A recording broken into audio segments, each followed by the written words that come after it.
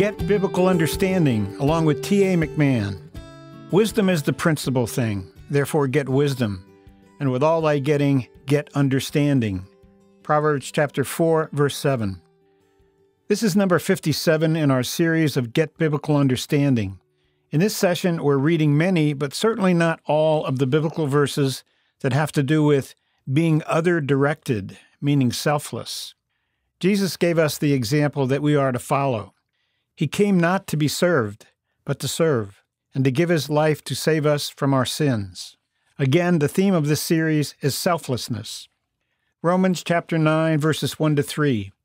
I say the truth in Christ, I lie not, my conscience also bearing me witness in the Holy Ghost, that I have great heaviness and continual sorrow in my heart.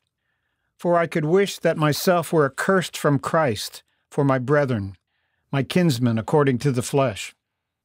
Romans chapter 12, verse 1. I beseech you, therefore, brethren, by the mercies of God, that ye present your bodies a living sacrifice, holy, acceptable unto God, which is your reasonable service. Romans chapter 12, verse 10.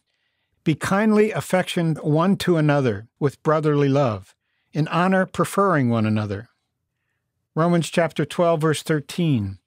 Distributing to the necessity of saints, given to hospitality. Romans chapter 12, verse 14. Bless them which persecute you, bless and curse not. Romans chapter 12, verse 15. Rejoice with them that do rejoice, and weep with them that weep. Romans chapter 12, verse 16. Be of the same mind one toward another. Mind not high things, but condescend to men of low estate. Be not wise in your own conceits. Romans chapter 14, verse 10. But why dost thou judge thy brother? Or why dost thou set at naught thy brother? For we shall all stand before the judgment seat of Christ. Romans chapter 14, verse 13. Let us not therefore judge one another any more, but judge this rather, that no man put a stumbling block or an occasion to fall in his brother's way. Romans chapter 14, verses 15 to 17. But if thy brother be grieved with thy meat, now walkest thou not charitably. Destroy not him with thy meat, for whom Christ died. Let not then your good be evil spoken of. For the kingdom of God is not meat and drink, but righteousness and peace and joy in the Holy Ghost. Romans chapter 14, verses 18 to 19. For he that in these things serveth Christ is acceptable to God and approved of men.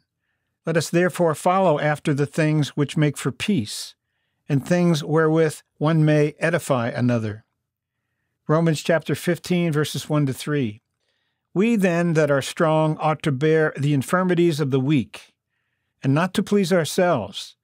Let every one of us please his neighbor for his good to edification. For even Christ pleased not himself. But, as it is written, the reproaches of them that reproach thee fell on me.